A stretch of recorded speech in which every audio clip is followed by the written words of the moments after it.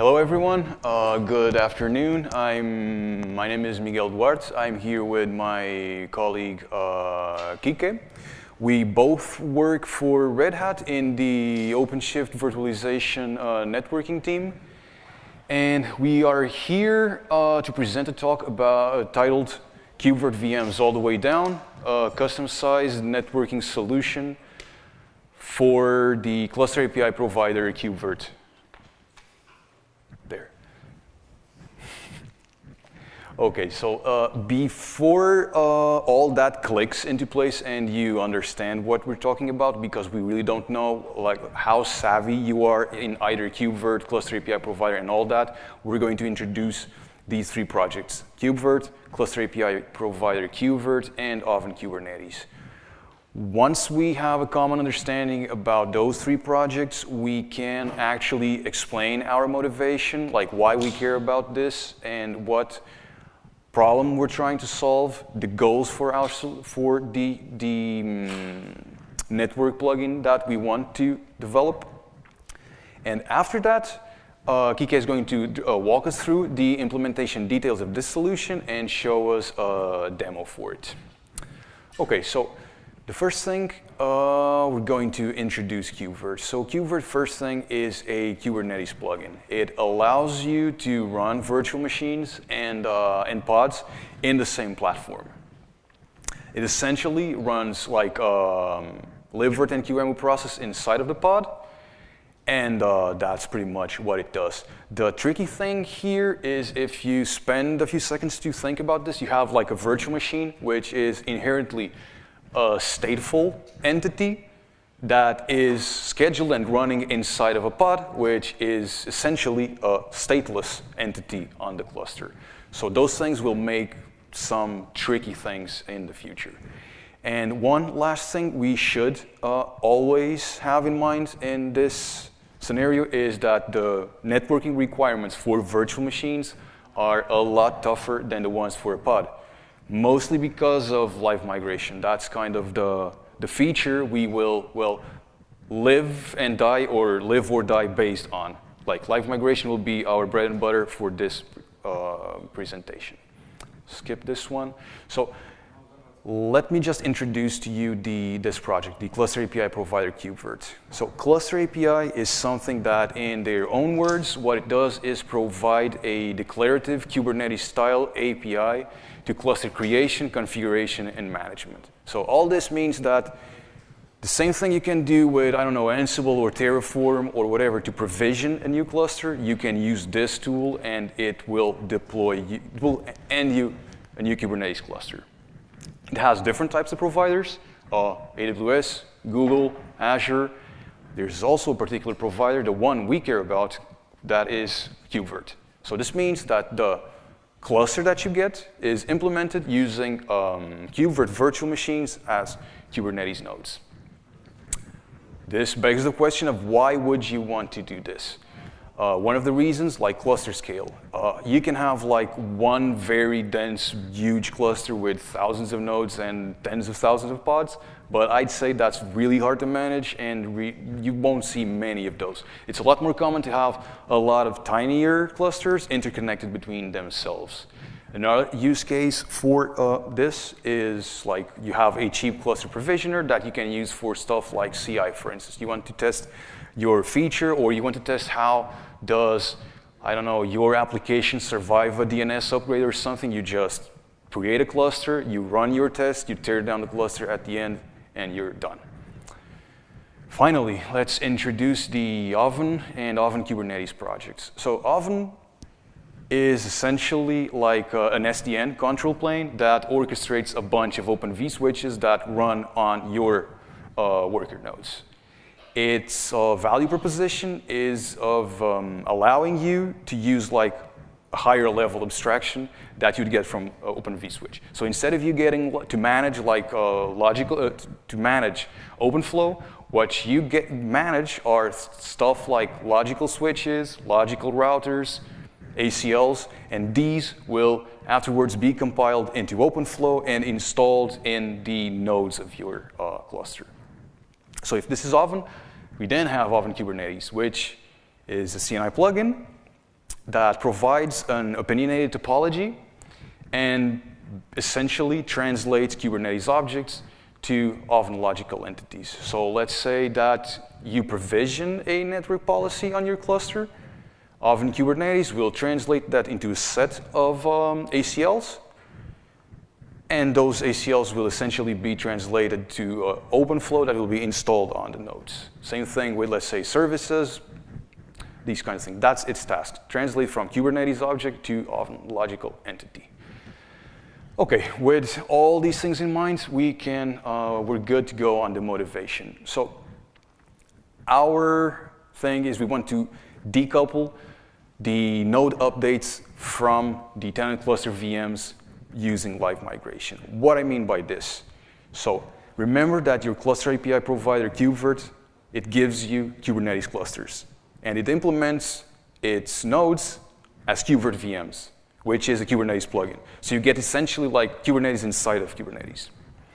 And we call the, let's say, the topmost cluster, it's the infra cluster. The bottom ones, the ones that uh, are being provisioned by this tool, are the tenant clusters.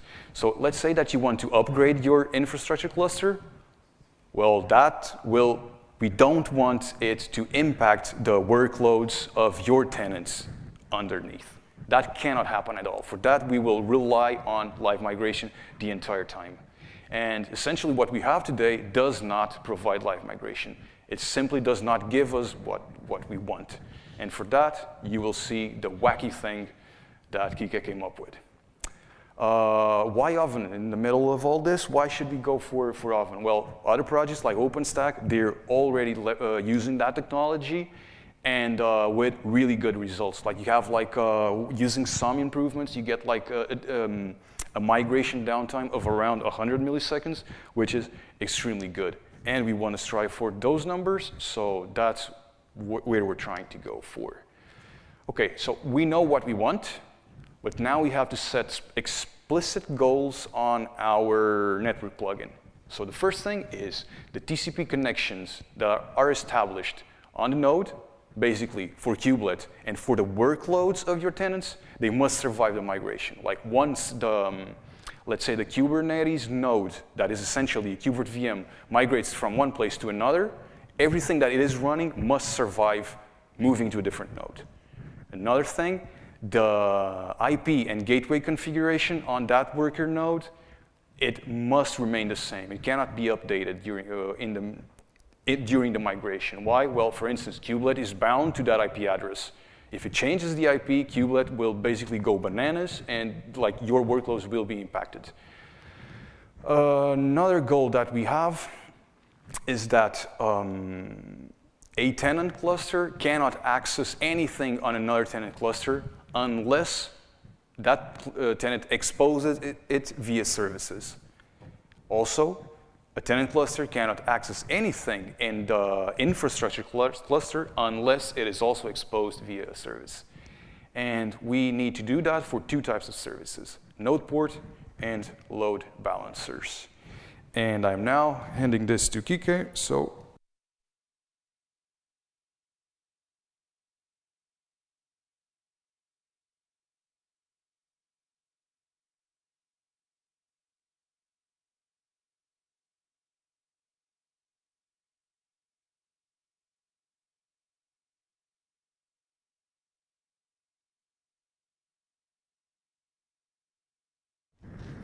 Uh, so hello.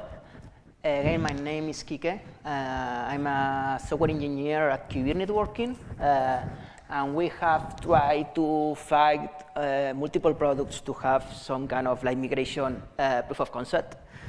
Uh, so what we are going to see right now is like we, the big points that we need implementation-wise. So what we need is uh, to implement live migration in the, in the cluster default network, not doing it in a secondary network, not doing it in the future feature from OVN Kubernetes multi-homing, in the full network. We will see later on why is that, why we want it in the, in the network, right?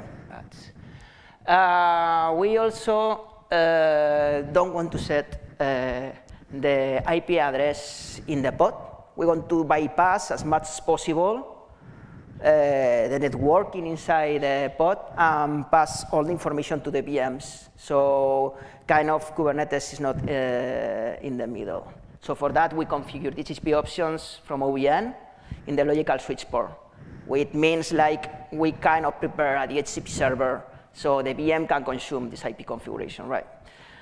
Uh, also, uh, we copy some mechanism from Calico. Uh, like they use something that is called ARP proxy. And what it means is like uh, some parts of the topology, you can configure some parameters uh, that is able to answer uh, from a foreign IP address that, that doesn't correspond to the subnet at this level. So for that, this is how uh, we implement uh, ARPs for the default gateway. So the VMs has always the, the same default gateway independently of, of, the node where they are running. And also the neighbor cache is exactly the same. Uh, okay, so now we are going to see the topology of the, of the communication for the north-south communication, right? The, the, the, the most uh, north part. This is going to be exactly the same uh, before and after live migration, but the important part here are this IP address here and here, because this is the IP addresses that we use to redirect, to do the point-to-point -point routing, routing during live migration, right? As we see here in these tags.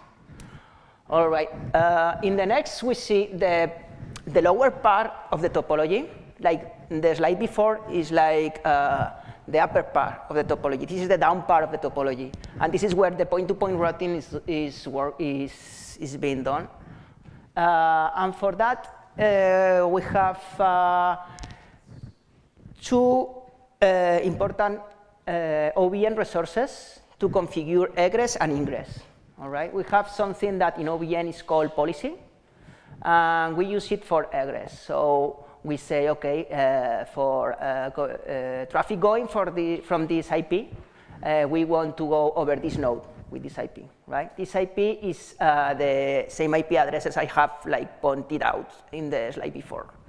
Then we have like another thing, which is a static route, and we use it for the ingress communication. So it's kind, kind of the opposite, like okay, uh, if traffic, traffic is for this IP address, you go over this port, all right?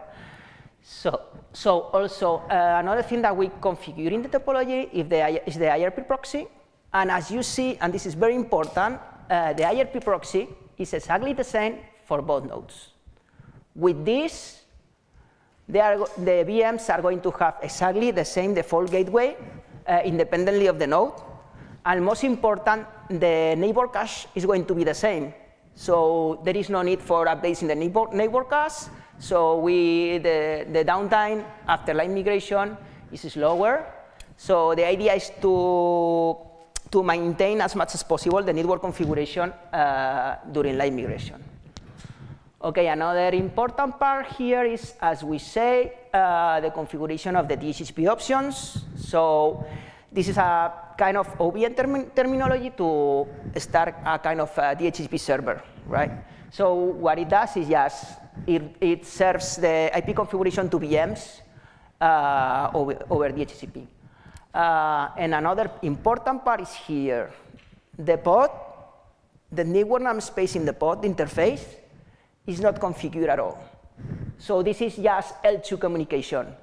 So IP configuration doesn't make, let's say, noise during live migration, and it's just a L2 link between the VM and OVN.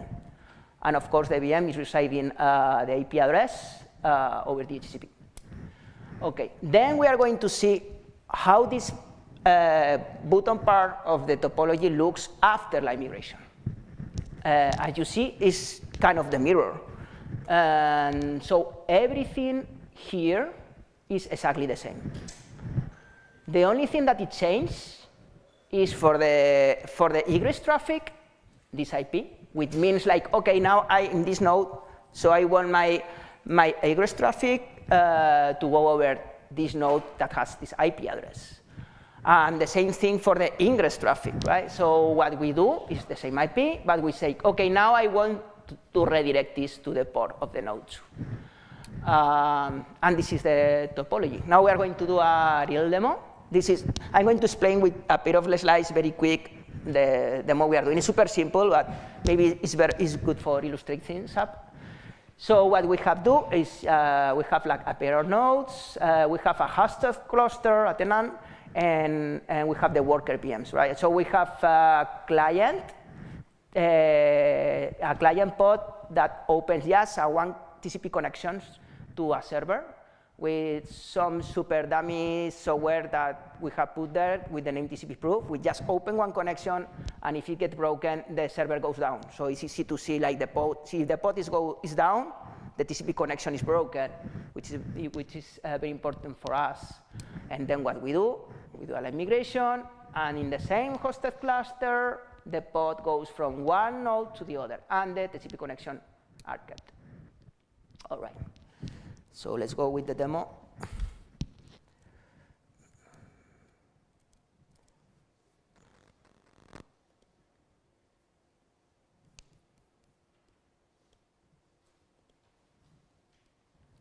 Okay, so uh, before I start, let's explain what we have here. So uh, the first part is the latency between uh, request and response in the client, uh, in the, uh, the client what we have seen.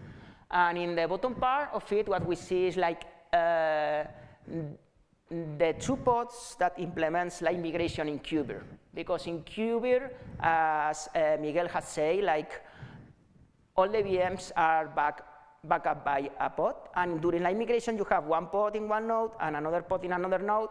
And there is one moment where the well, libvirt communicates state between one pod to another and then one of the pods dies, and the migration has ended. So we will see here the latency and here the pods of, the, of KubeVirt, right? And uh, we see here one pod is in one node and the other is in the, in the other node, and we see here the state. Okay, let's start.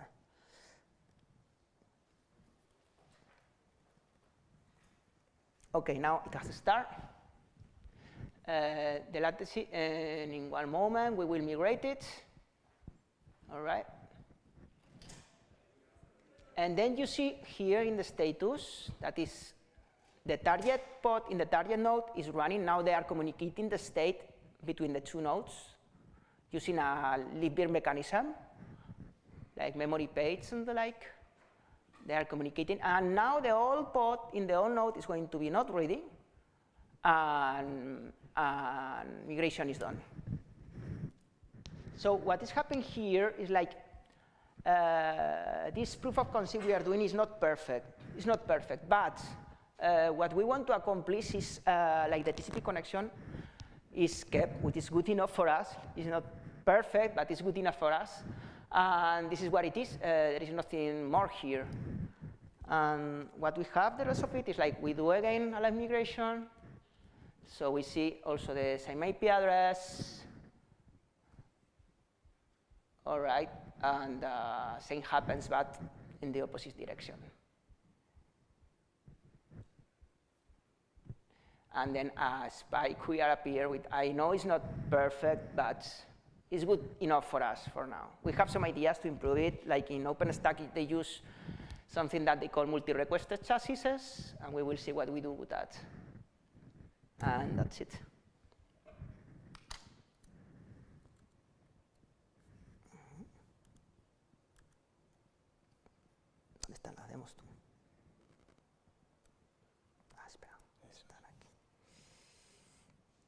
All right. Uh, okay, conclusions. So now we explain why we are doing it uh, in the default network instead of using a secondary network where we have like more, more possibles to change things up. Uh, well, uh, in the world of tenant clusters, we need to use a lot of Kubernetes mechanism to implement, com com implement communication with the API server that is running in the infra cluster, in the management cluster. Uh, so for that, using the full network, we have a lot of stuff for free. Uh, we have access to services. Uh, also, we have isolation. We have like the network policies. We have all of this. Uh, then uh, we have seen that using point-to-point -point routing in the primary interfaces, so we have we can make the TCP connection survive and has a consistent IP address that follows the VM during the migration, right? And now with these points, what we discover is like, like we know how this, this proof of concept works, and we can start to implement it and improve it like little by little. And, and that's it. Questions? All right. All right. So during the like migration, if the cluster network vault would be reaching out to the host network vault for a service, for instance, would that st still work? I mean, you are going to have, uh, so the question is about uh, what's going to happen, if I understand correctly, what's going to happen when you receive, when they try to access the pod during live migration, right?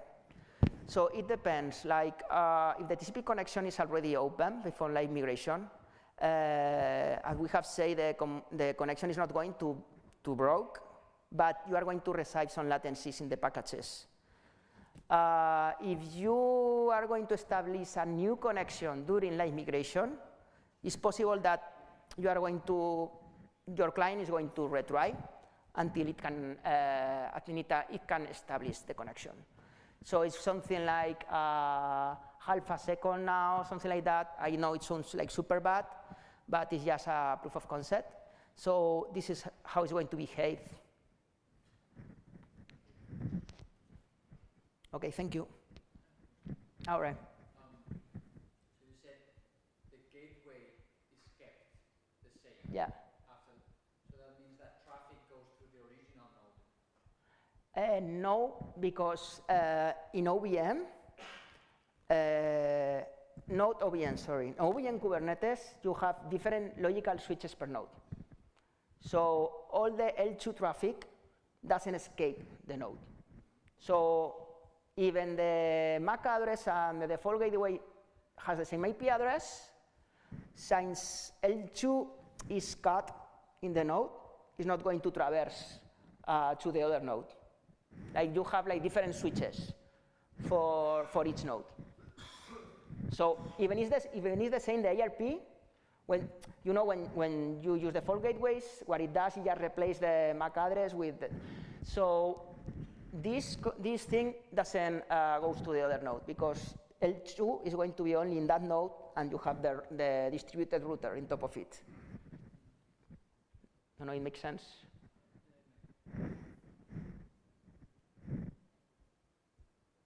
Okay.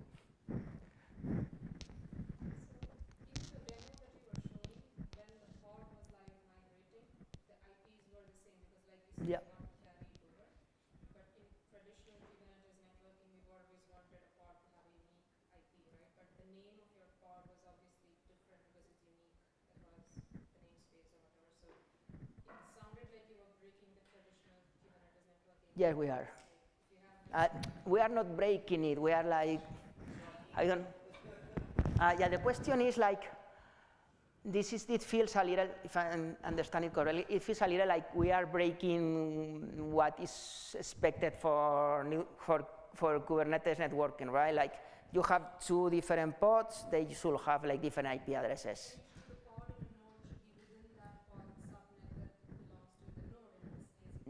Yeah, that's why we are using like point-to-point -point routine because like, the, let's say that the pod is in a very foreign node that only understand about subnets. That's why we need so these mechanisms.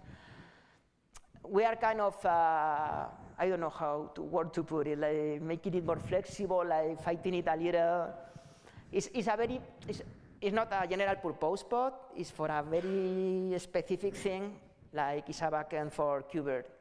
We, I don't know if we are going to use it for everything, uh, for something that is not KubeVirt, but yes, we know that, but people is happy about it because we prefer to have like migration than maybe be strictly about this one. Yeah, yeah, let's see. Okay, something else? Okay, thank you.